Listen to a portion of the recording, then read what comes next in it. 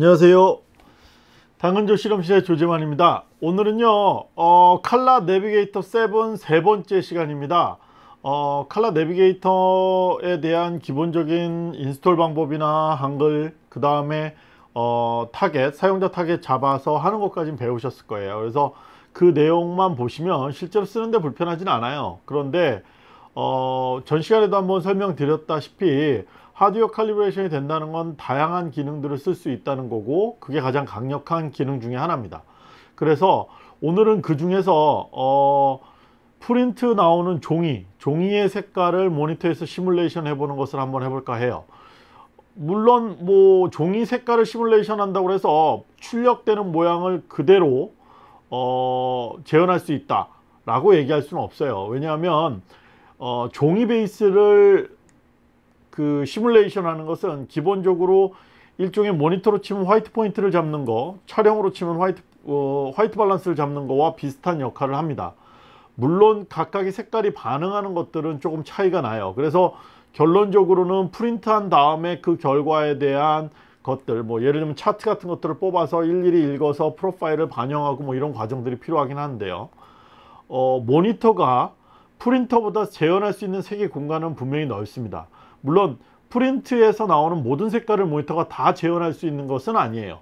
그러다 보니까 약간의 차이는 날 수 있지만 어, 그 중에서도 종이 화이트 포인트 다시 말해서 종이 베이스 컬러만 정확히 시뮬레이션 되고 있다 그러면 사람이 봤을 때 상당히 유사한 색깔로 느낄 수 있게 해주는 것 또한 사실입니다. 그래서 그 기능을 이용해서 어, 모니터가 내가 지금 뽑고자 하는 뭐 종이 혹은 뽑고자 하는 출력소에서 사용하는 종이 이런 것들을 시뮬레이션해서 어 그것을 미리 볼 수 있는 출력하기 전에 출력을 하는 그 순간 이미 비용이라든지 시간이라든지 이런 것들이 발생을 하는데요. 그거를 줄이고 미리 한번 해볼 수 있는 그런 어, 시뮬레이션이 가능한 그런 기능을 한번 볼까 합니다.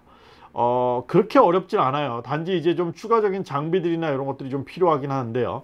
그런 것들까지 포함해서 한번 어떻게 하는지 보도록 하죠 자 이제 한번 실행을 해 볼게요. 우선 칼라 내비게이터 프로그램을 켜야겠죠. 칼라 내비게이터 프로그램은 어, 맥인 경우에는 위쪽에 있는 그 트레이에 있고요. 윈도우즈는 밑에 쪽에 있습니다. 동일하고요. 그 다음에 거기서 어, 요 나비 모양의 아이콘에 보면 스타, 스타트 칼라 내비게이터 요거를 실행시켜서 프로그램을 실행시켜야 돼요 그러면 아주 낯익은 화면이 나오죠. 이 화면이 있는데요. 여기서 그냥 어, 모니터 세팅에서 타겟 관리를 해서 새로운 타겟을 만드는 거예요. 종이 베이스를 기본으로 한 그런 어, 타겟을 만드는 건데요. 여기서 그냥 누르시게 돼서 새로운 타겟 만들기를 하면 아마 화면에 이런 화면이 뜰 거예요. 그래서 기준 뭐 수치들이나 이런 것들만 나오고 내가 값을 집어넣는 것들만 나오고요 아니면 뭐 기존에 사용하던 뭐 이런 프로파일들 이런 것들을 기준으로 해서 만들도록 되어 있는데요. 우리는 종이 베이스를 어, 측정해서 그걸 기준값으로 잡을 거기 때문에 약간의 추가 기능이 필요해요. 그래서 요 참조를 한번 눌러보면 확장이라는 모드에서 몇 가지를 선택해 볼 겁니다. 첫 번째 선택해야 될 건 요거예요. 조정 타겟 작성 assistant. 요걸 이용해서 바로 그 종이 어,를 측정할 수 있는 모드를 활성화시키는 거예요. 이게 켜있지 않으시다면 아마도 아까 눌렀을 때 그 종이를 측정하는 모드가 나오지 않을 거예요. 그리고 여기 다양한 기능들이 좀 더 있는데요. 나머지 것들은 나중에 필요할 때 보도록 하고 일단 이것만 활성화 시켜서 다시 한번 보도록 하죠. 어, 모니터 세팅에서요. 타겟 관리를 실행시켜요. 그러면 타겟 추가라는 항목이 보이실 겁니다. 여기서 타겟을 하나 새로 만들어 볼 거예요. 가져오진 않을, 가져오려는 게 아니라 새로운 타겟을 만들 거기 때문에 새로운 타겟 만들기를 누릅니다. 그럼 아마 아까랑 다른 창이 뜰 거예요. 보시면 알겠지만 여기서 수동 입력을 하면 아까랑 동일한 그 메뉴로 넘어가게 되는 거고요. 그 다음에 종이색을 모니터 색, 종이색으로 모니터 색을 맞춥니다. 요게 바로 그 종이 색깔을 측정해서 맞추는 방법이에요. 그 다음에 표준 색상과 모니터 색을 맞춥니다. 이 표준 색상이라는 건 뭐 아까 얘기한 뭐 sRGB, Adobe RGB 뭐 그 다음에 Rec 709 이런 것들을 얘기하는 건데 이런 것들을 쓸 수도 있고요. 그 다음에 다른 디스플레이 장치와 색깔을 맞춥니다. 이 다른 디스플레이 장치는 나중에 한번 보, 볼 텐데요. 다른 모니터도 마찬가지지만 뭐 모바일 device 같은 것들 있죠. 뭐 아이패드라든지 핸드폰이라든지 혹은 또 다른 TV라든지 이런 것들도 마찬가지로 재현할 수가 있습니다. 일단 우리는 종이색으로 모니터를 맞추는 걸 선택을 할게요. 그 다음에 다음 버튼을 누를게요. 그러면 이제 작업 환경에 대한 설명이 나와요. 그래서 여기서 뭐 물론 여러 가지 조건들이 맞으면 좋아요. 그래서 뭐 작업 공간이 완벽하게 예를 들면은 햇빛이 차단돼 있고 그 다음에 조명을 내가 컨트롤 할 수 있고 그 컨트롤 할 수 있는 조명이 뭐 좋은 CRI 값이나 혹은 뭐 뭐 색온도나 이런 것들을 정밀하게 컨트롤 할 수 있으면 좋은데 불가능하다면 여러 가지 choice들이 있, 어요 그래서 좋은 색상을 만들어내는 램프를 갖고 계시면 좋아요. 최근에 나와 있는 LED 중에서 CRI 값이라고 해서 빛의 색깔 속성이 좋은 CRI 값이 높은 그런 스탠드를 찾기는 쉽지 않으실 겁니다. 그래서 솔직히 자신 없으시다면 차라리 3파장이나 5파장 램프로 되어 있는 조금 한 3, 4년 전에 나왔던 그런 스탠드들이 훨씬 더 효과적일 거예요.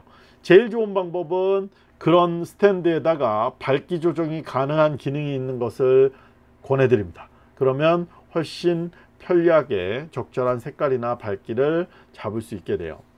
어, 오늘 쓰려고 하는 스탠드는요. 이쪽에 있는 스탠드예요. 그래서 이 스탠드를 이용할 거고요. 음, 이쪽에 있는 스탠드는 어, CRI 값이 좋은 스탠드예요. 그래서 이거는 모든 게 다 맞춰져 있긴 하는데 그게 아니어도 상관없어요. 어쨌거나 밝은 빛 아래서만 확인을 하셔야 돼요. 그래야만 모니터보다 주변 환경은 항상 어둡고 거기에 반사되어 오는 종이는 더 어두워지기 때문에 색깔이나 밝기를 맞추기가 정말로 어려워요. 그래서 스탠드를 이용하게 될 거고요. 밝기 조정이 되는 거니까 밝기를 지금 조금 밝은 것 같으니까 어둡게 좀 할게요. 그리고 종이를 선택을 할 건데요. 오늘 쓰게 될 종이는 일단 이 종이로 한번 해보도록 하죠. 어, Hahnemühle에서 나온 페이퍼고요.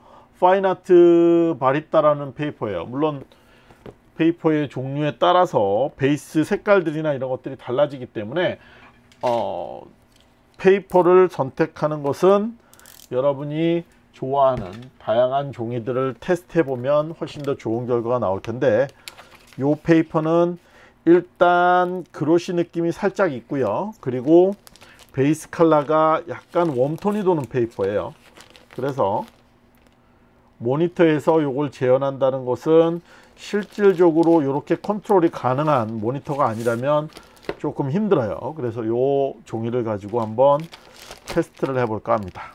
그럼 종이를 하나 빼고요.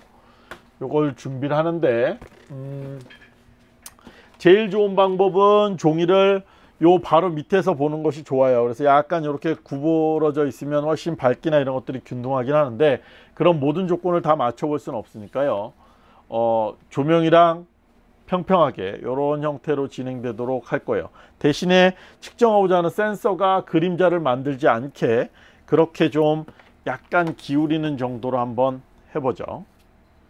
그 다음에 준비가 됐으면 다음을 누르고요. 그리고 여기서 보면 요 것을 위해서 적절한 인쇄 설정으로 만드냐 종이를 측정하여 타겟을 만드냐 주변광을 측정해서 타겟을 만드냐 이런 것들이 나와요 이거는 뭐 여러 가지 옵션이 있어요. 어, 첫 번째 것보다는 지금 우리가 하려는 건 두 번째 것으로 할 거예요. 그래서 요걸 선택하고요. 그리고 센서를 사용하셔야 되는데 이 센서가 내장 센서로는 안 돼요. 그리고 두 번째로는 어, 이 외장 센서를 이용하셔야 되는데 여러 가지 센서의 종류가 있어요 엑스라이트에서도 나오고 뭐 데이터 칼라에서도 나오고 그런데 제가 권장하는 것은 i1 Studio라고 하는 X-Rite에서 나오는 거예요 요거는 spectrometer라고 해서 어 이 인쇄라든지 이런 것도 칼리브레이션을 잡을 수 있고요. 또한 모니터도 측정을 할 수 있어요. 다목적으로 쓸 수 있어서 권해드리는 거고요.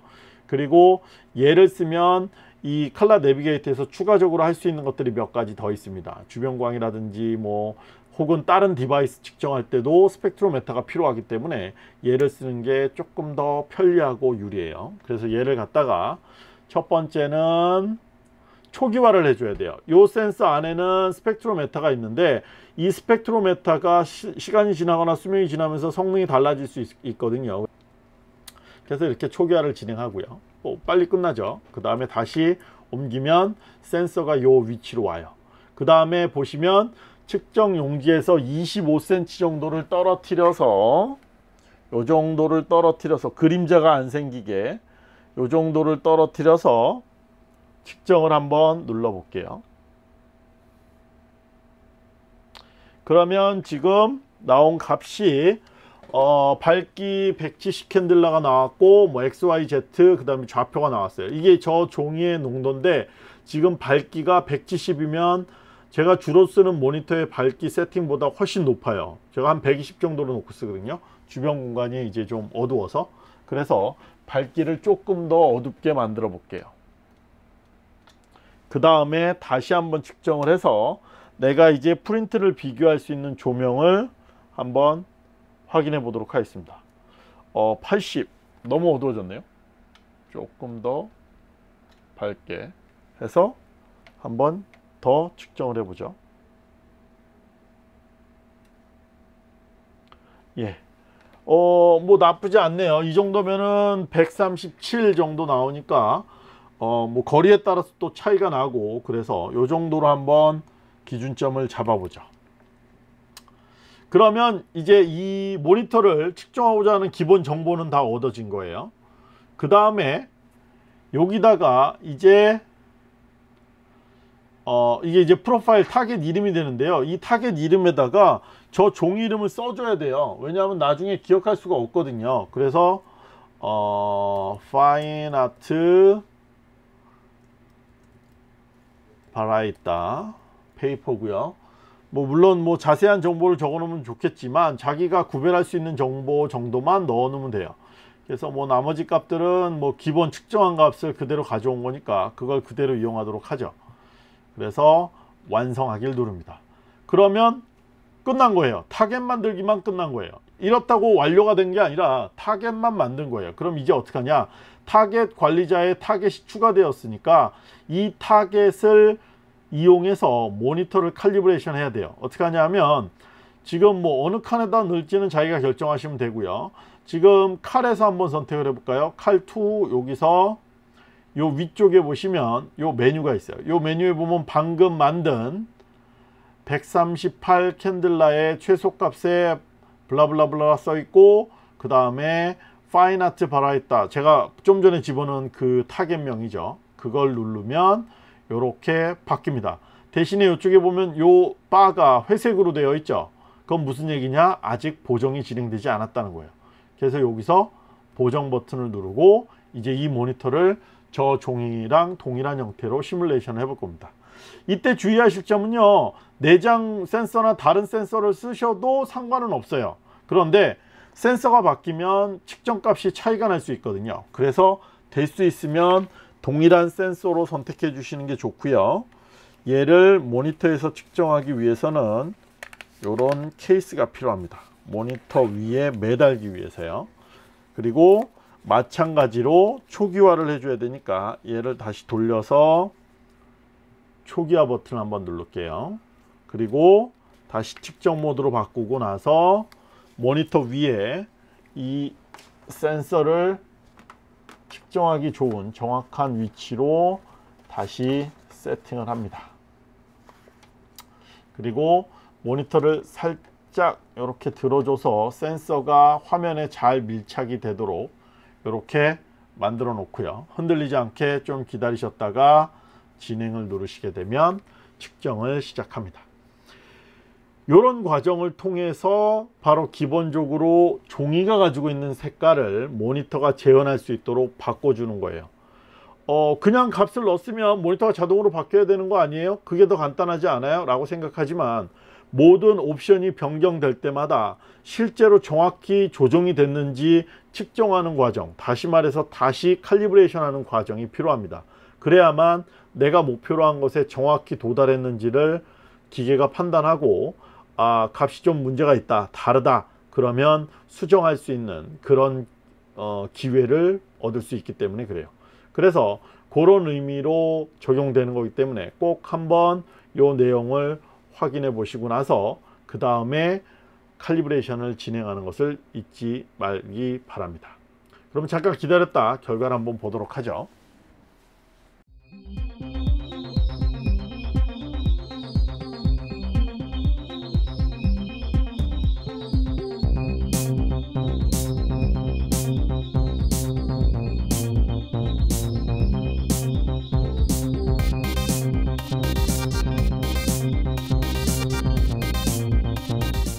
자 이제 보정이 완료가 됐네요. 그러면 한번 결과를 볼까요?